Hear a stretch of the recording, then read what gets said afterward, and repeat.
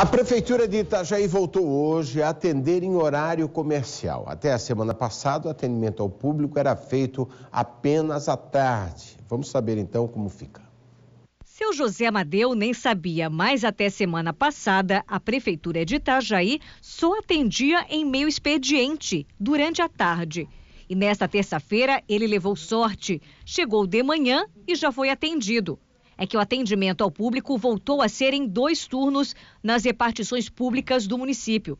Bom para o seu Amadeu, que veio resolver um problema com o IPTU. Eu acho que tem que ser o dia todo para ficar um trabalho melhor para a população que tem problemas para resolver, né?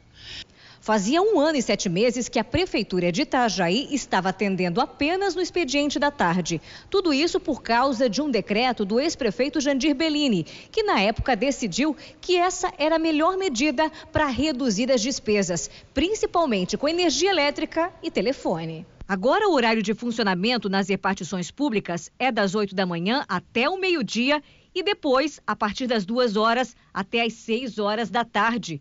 Isso de segunda a sexta-feira.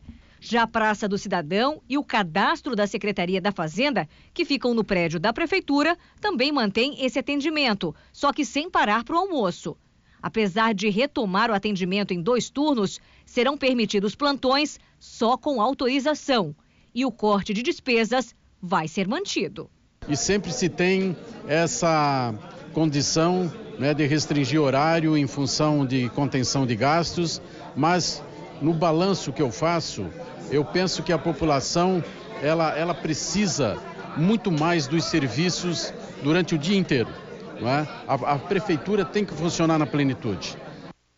Concordo plenamente. É isso mesmo. Nós perdemos muito mais quando a prefeitura funciona, os, os, as áreas públicas funcionam só no período.